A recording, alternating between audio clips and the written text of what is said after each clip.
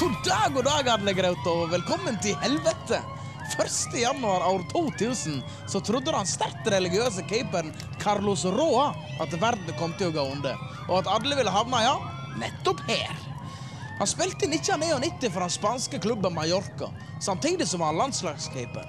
Husker du for hva land han spilte? Var det A. Paraguay, B. Colombia eller C. Argentina? Lykke til! Send Åsen, A, B eller C, til 1984.